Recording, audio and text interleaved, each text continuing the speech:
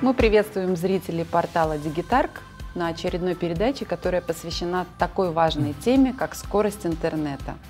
И поговорить о том, что же предпринимает Телия, чтобы повысить скорость интернета у своих клиентов, мы пригласили Тета Тисвельта. Здравствуй, Тед. Здравствуй. Скажи, пожалуйста, Тед, в чем заключается проект модернизации сети, который сейчас ведет Телия? Мы проводим этот проект, чтобы осовременить нашу кабельную сеть и закрывать старые ADSL-технологии. И благодаря этому наши клиенты получают новый опыт использования интернета. Я слышала, что примерно 30%, а это довольно много, клиентов Телия до сих пор сидят на сети ADSL. Она же очень старая. Да, это технологии старые, и, и скорость и там э, медленная. И, и мы хотим это менять, это ситуация. Означает ли это, что все клиенты будут пользоваться оптическими кабелями? Э, почти все. Для всех мы хотим строить оптический кабель, чтобы дает э, скорость до 1 гигабит в секунду. Но в нескольких э, регионах, где не можно э, строить новый оптический сеть, мы тоже используем новые технологии на медный кабель, и все клиенты получают скорость до 100 мегабит в секунду на медный кабель. Это означает, что мы переместим узлы связи ближе к клиентам? Да, да.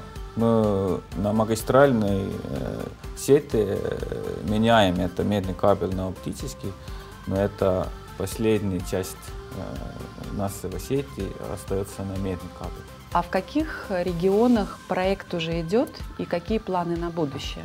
Э, уже в этом году мы начинали этот проект на маленьких э, регионах в разных местах Эстонии. Но уже в начале следующем году мы хотим э, сделать это проект на больших регионах.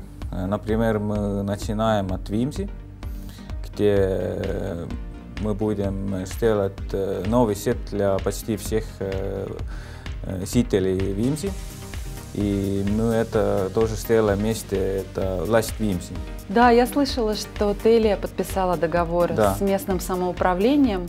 И я думаю, что это хороший повод да. задуматься другим угу. волосным управом, чтобы прийти к нам с этой инициативой. Да, потому что это не только, не только в Имзе, а тоже в других регионах. Э, в Таллине, например, перед Танымой мы начинаем после Вимзи.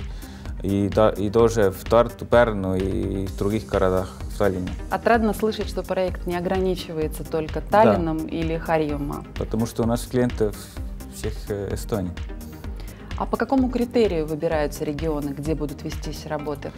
Но мы э, выбираем эти регионы, где больше всего эти клиенты, у кого есть это старые технологии. На самом деле этот проект касается ну, каждого, потому что без интернета уже трудно представить свою да, жизнь. Да. 70 тысяч клиентов. Сколько же будет длиться этот проект? Ну, этот проект будет э, длиться три года. Это означает, что к 2020 году практически каждый клиент Телия сможет использовать высокоскоростной интернет. Да, да. А скажи, пожалуйста, должны ли будут конечные пользователи платить что-то за работу по проведению интернета? Да, эти клиенты, у кого мы э, строим новый оптический кабель, э, они, у них нужно платить э, одновременная плата до 300 евро. Но это касается не всех. Нет. То есть, если мы ведем э, работы по прокладке кабеля там, где его нет, там необходимо что-то платить. У них, у кого уже есть этот кабель, и они остаются на этом медный кабель, и получается, например, 100 мегабит, э, там у них не нужно ничего не платить для этого. Думаю, что это очень приятный бонус для людей, которые уже устали от того, что интернет медленный, все работает медленно.